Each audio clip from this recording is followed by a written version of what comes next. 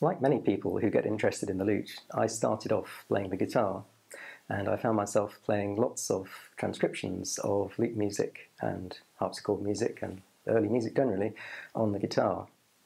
So it was quite natural to want to play that music on the lute.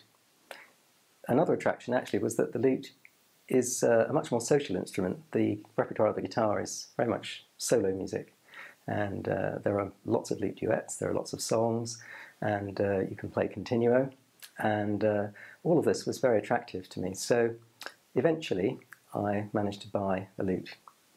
Almost as soon as I'd done so, I discovered that actually there are lots of different kinds of lute, and because the lute repertoire is so enormous and covers such a wide span of time, about three centuries, from about 1500 to about 1800, you really can't play all of that music on one instrument. You need several different instruments. And so it's quite natural to want to play music from a particular period on the instrument for which it was written. And so I couldn't afford to buy another lute, so I decided to have a go at making one. Uh, I had some woodwork experience. I had some bad woodwork experience at school. I had some slightly better woodwork experience with making model aeroplanes. Uh, and in fact, a very specialized kind of model aeroplane, which involved making very, very light structures and very, very accurate. So maybe that had some influence on, on the, uh, the lute making, which I've subsequently done.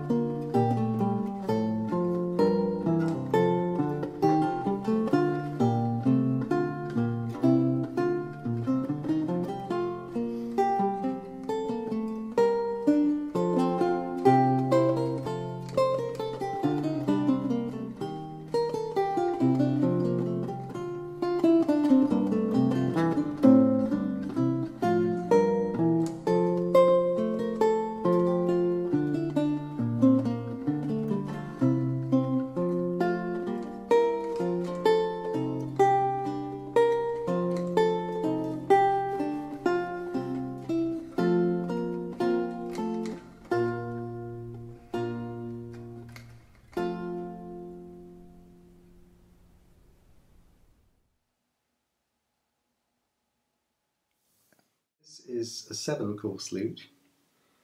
It has 13 strings, uh, six arranged in pairs, and one single string at the top. Often this single string was in fact a double string. Uh, at the time when this kind of lute was, uh, was very popular, which is the end of the 16th century. And this particular lute is typical of the kinds of lutes which were made um, by German makers in northern Italy in Venice and Padua at the end of the 16th century. The body is made up of thin strips of wood. We call these ribs. Um, in this case, it has thin strips also sandwiched between the ribs to give that effect. Um, it has what we call a capping strip around the end, which reinforces the, the construction of the body. Um, at this end of the lute, there is a, a, a block um, in this case made of willow. You can't see it, it's inside, which to which all the ribs are joined. And then the neck is joined to the block with um, a butt joint, and there's a screw or a nail which goes through the block and into the neck to reinforce that joint. The semitones along the strings are determined by gut frets which are tied around the neck. And having frets which are simply tied in place means that you can actually move them slightly to, uh, to adjust the tune. Uh, the strings go over a, a, very sharp angle as they go into the peg box over what we call the nut, which in this case is made of bone. The bridge is just a solid piece of wood. It's actually rather light. It's actually it's cut away at the back and at the front, and its function really is to just provide an attachment point for the strings, um, and it mustn't be too too heavy. Uh, the um, the rose is a purely decorative feature. It has to be some kind of opening in the soundboard, but the size of the opening is not particularly important, and the design of the rose is even less important. The designs are traditional designs which were used by makers from the earliest lutes that we know about right through to some of the latest ones, so they're not particular to any maker. This, this, uh, this is a complete lute back. Um, it's made, it's been made on a solid mould, which is the shape of the inside of the lute back. I take it off, you see that the, the back is made of very thin wood, these very thin ribs uh, which are bent on a, on a bending iron. Um, a piece of rib from a different lute, bent on this bending iron. So if we want to make a lute which is based as closely as possible on a historical model, the obvious thing to do is to find a lute in a museum and um, use that as a basis for the modern reconstruction. Um, what we have here is a drawing, a very accurate drawing of a lute in the Warwick County Museum. Uh, it's, it dates in its present form from the 17th century and um, this drawing shows exactly what the instrument is like now, warts and all, as it were. There are various distortions, obviously, that have happened over the, over the centuries and some, what you might call, inaccuracies in the original construction. The body, for example, is not completely symmetrical. We don't think there's anything systematic about that, it just happens to be a little bit wonky. So we're going to have to make another drawing which will which we can use as a basis for our reconstruction, which straightens out some of these little irregularities.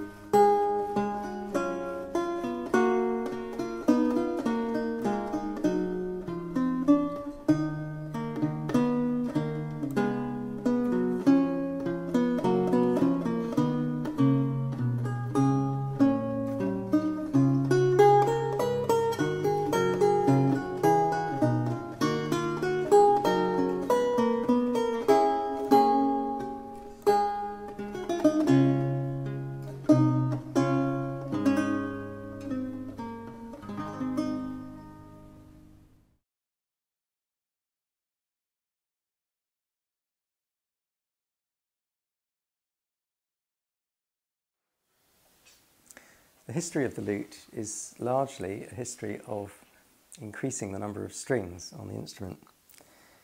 The lute was well established in European musical culture by the 15th century, uh, and it was also towards the end of the 15th century that people started playing the lute with their fingers rather than with a plectrum.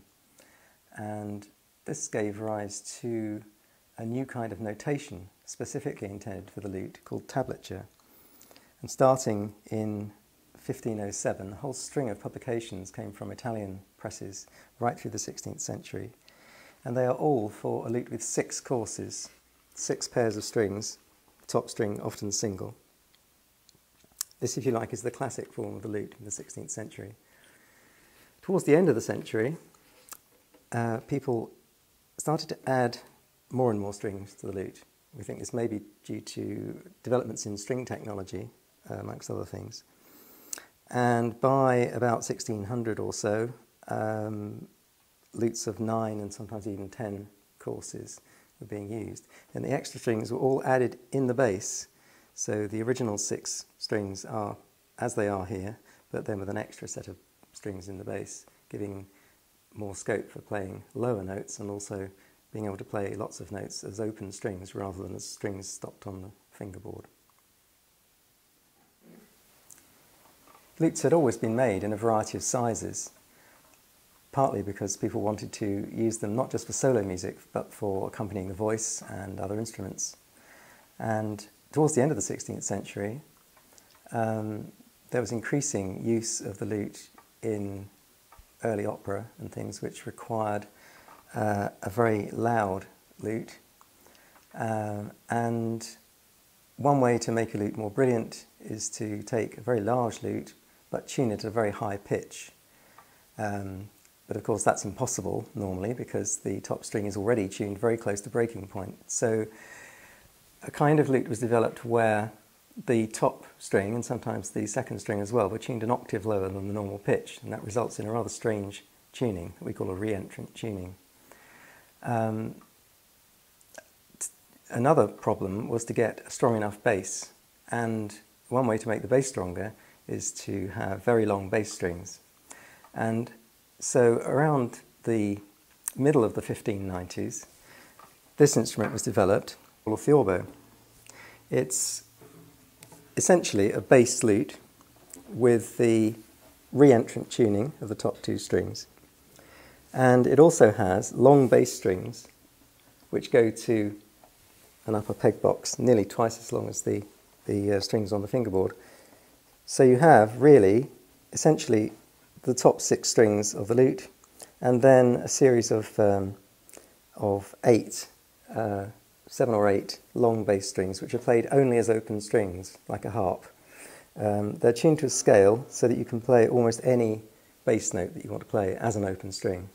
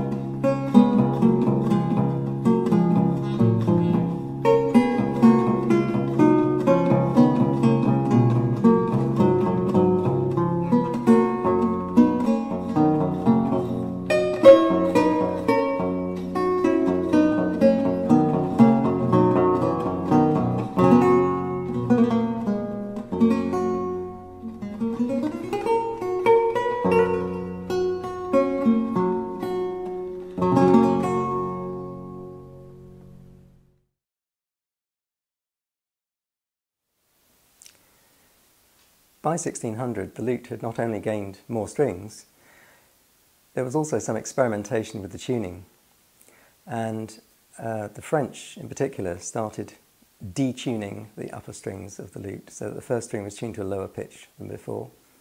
And eventually, this process led to the development of completely new tunings for the top six strings, uh, which gave more, gave different resonances to the instrument, and they got very interested in exploring these, these resonances. This kind of lute uh, developed yet more courses, uh, and the classic French lute of the 17th century has 11 courses. And this persisted, this type of lute was used until around 1700, uh, at which point interest in the lute in France really died out essentially. And the Germans, or German speaking countries, took over uh, this lute and added yet more strings to it, uh, and we end up with a 13 course lute by about 1720.